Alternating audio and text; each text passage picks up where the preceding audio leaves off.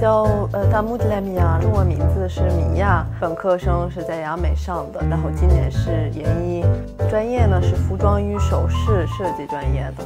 我的梦想是有把中国和阿尔及利亚的传统服装加上我的设计，来传播到全世界。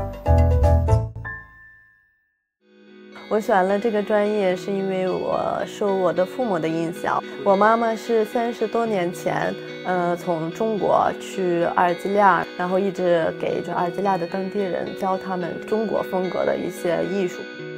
因为我是一个混血，所以把一些中国又阿尔及利亚的一些风格用到我的服装上，显示我的这个个人的特点吧。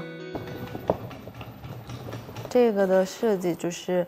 呃，以阿尔及利亚的建筑的外形，这个外形是服装的外形，然后这个袖子就是水袖，中国的水袖，呃，就是唱京剧的那个，然后他们穿这个来唱。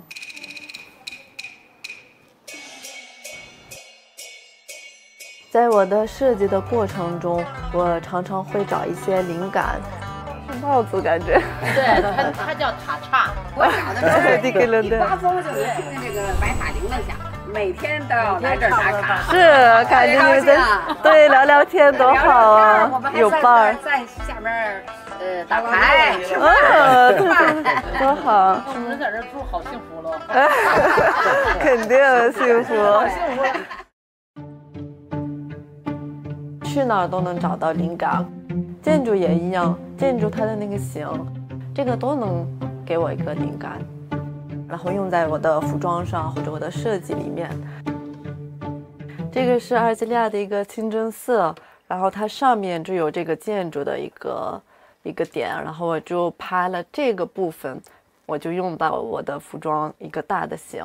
这个就是中国的旗袍，然后有的时候我也穿一些这样的中国风格的服装出去。你喜欢这种风格吗？对我特别喜欢这个，我在在阿尔及利亚穿的比较多，感觉太漂亮，出去穿不舍得。这个是我去看那个时装周，在七九八，然后我们去看一个，就参加这个时装周，然后就顺便拍了一个照片，有纪念。这是我妈妈，这是我妈妈和我爸爸，这是我哥哥。说起我妈妈，很想她，要不给她打电话吧？Hello，妈妈，干嘛呢？刚开始还没刚把那个底色打上了，图案还没画呢，刚画了一个底色。行，那个你什么时候来中国？七月份，大概七月份，我们是七月十五号放假，然后放假以后就过去。好想北京，好想家里人，对，好想去旅游，哎，好着急呀。我妈妈是三十多年。前去了阿尔及利亚，那时候去国外可能很少吧。他那么勇敢的，呃，就是跟着我爸去了那么远的一个地方。嗯，我长大了以后，就是我来中国可能会，嗯，能理解他这个感觉。我能感觉到我妈妈这个这个经历。